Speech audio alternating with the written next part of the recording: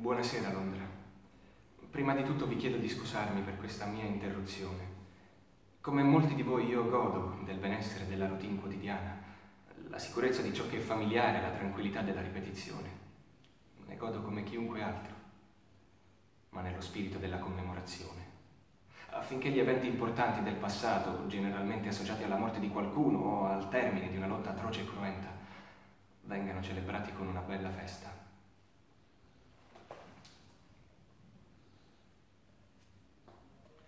Ho pensato che potremmo dare risalto a questo 5 novembre,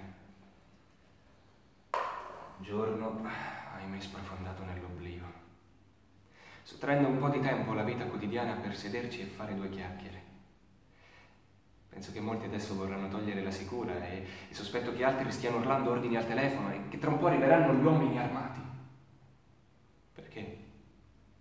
Perché mentre il manganello può sostituire il dialogo, le parole non perderanno mai il loro. Per coloro che vogliono ascoltare all'affermazione della verità. E la verità è che c'è qualcosa di terribilmente marcio in questo paese.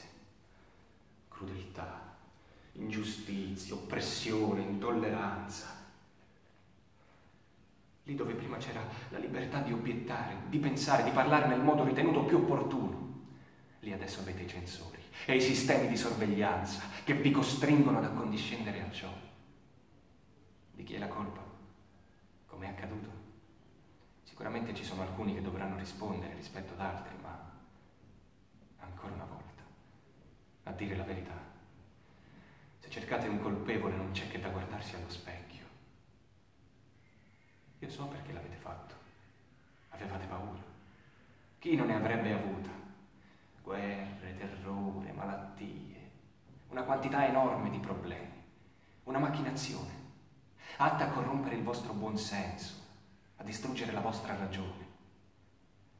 La paura si è impadronita di voi e il caso mentale ha fatto sì che vi rivolgeste all'alto cancelliere Adam Settler promesso ordine e pace in cambio del vostro silenzio, obbediente consenso. Ieri sera ho cercato di porre fine a questo silenzio. Ieri sera io ho distrutto il vecchio Bailey per ricordare a questo paese quello che ha dimenticato. Più di 400 anni fa, un grande cittadino ha voluto imprimere nella nostra memoria il 5 novembre. La sua speranza di ricordare al mondo che l'equità, la giustizia, la libertà, più che parole, sono prospettive quindi, se non avete visto niente, se i crimini di questo governo vi rimangono ignoti, vi chiedo di lasciar scorrere inosservato il 5 novembre. Ma se vedete quello che vedo io, se la pensate come la penso io, e se siete alla ricerca come lo sono io, vi chiedo di mettermi al mio fianco.